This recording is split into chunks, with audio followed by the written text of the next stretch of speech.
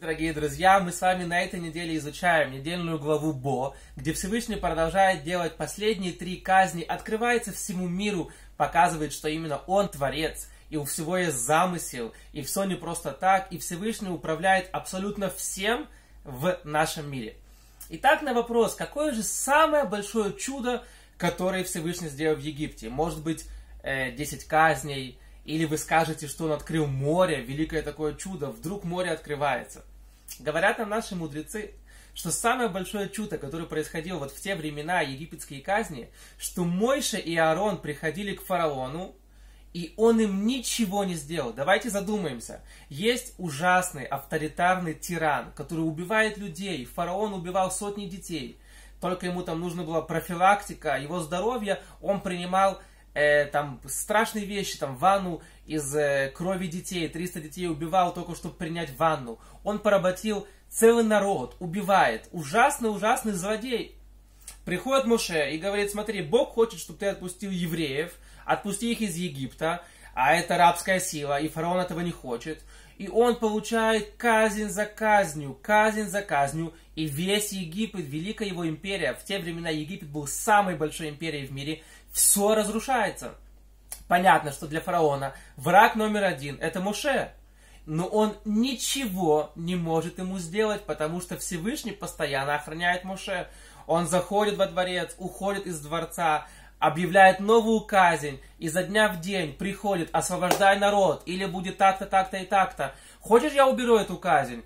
Он говорит, да. Отпустишь народ? Да. Нет, если ты меня обманешь, будет новая казнь. И Моше постоянно приходит, и ничего с ним не происходит, говорят нам наши мудрецы. Это и было самое великое чудо, сохранность Моше в присутствии злейшего, ужасного врага фараона, для которого он злейший враг, но ничего не сделал фараон плохого Моше Рабейну. И это подчеркивается одним словом в нашей недельной главе. Потому что Всевышний всегда, когда обращается к Моше, он говорит ему «Лех», иди, иди к фараону. А наша недельная глава Бо, он говорит в ней Бо Эль Паро. Он не сказал ему иди, а он ему сказал Бо. Почему используется другой глагол? Говорят нам наши мудрецы, что Бо в данном случае означает идем со мной.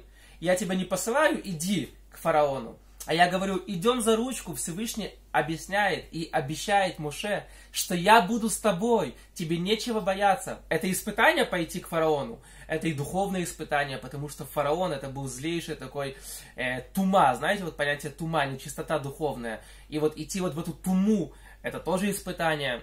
Это испытание физическое, идти навстречу со своим врагом, который хочет тебя уничтожить, очень-очень страшно. Поэтому Всевышнему говорит, Бо, я иду с тобой, идем со мной за руку.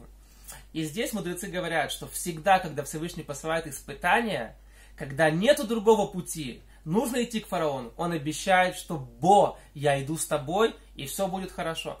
В то же время говорят наши мудрецы, что нельзя просить испытания, мы ежедневно молимся, Всевышний не, нам, не надо вело лидей нисайон. Не давай нам испытания, мы их не хотим. Нельзя идти на рожон. Вот я сейчас пойду туда-то, сделаю то-то, пойду, э, не знаю, буду рисковать. Здесь Всевышний не обещает, что Он пойдет с тобой. Не ищи сам испытания, а только обещание, что Всевышний будет с тобой, если это испытание от Него, испытание пришло сверху, тогда есть обещание, что Всевышний будет с тобой, и у тебя не будет никаких ни ущерба, ни проблем, как у Мушерабейну. Но с другой стороны, царь Давид попросил испытания, и написано про него, что он не удержался в нем.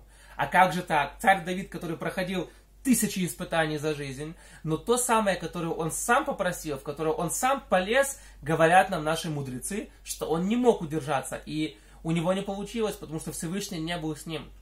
Итак, если нет другого пути, Всевышний обещает, что я буду с тобой. Если есть другой выход, мы не идем на рожон, мы не просим испытаний. И это мы учим из нашей недельной главы в одном слове «бо». Идем со мной, Всевышний обещает Моше. Хочешь, я тебе покажу великое чудо? Самое великое чудо, по, по многим мнениям комментаторов, которое было в Египте. Идем в самое опасное место для тебя в мире, во дворец к фараону, которого ты так достал, ты ему уничтожил всю его жизнь, всю его карьеру, всю его страну, ты эти казни принес. И Бог обещает, смотри, Бо, я пойду с тобой, и все будет хорошо. Спасибо огромное за внимание. Дай нам Бог Всевышний, чтобы был всегда с нами во всех наших испытаниях, и чтобы мы знали и не путали, где испытания с небес, которые Всевышний хочет, чтобы мы его прошли, а где испытания, которые мы сами себе как бы э, вот ввязались, впутались в него, и чтобы мы в него не впутывались, и Всевышний никогда нам не посылал испытания, в которых мы не должны находиться. Спасибо огромное за внимание.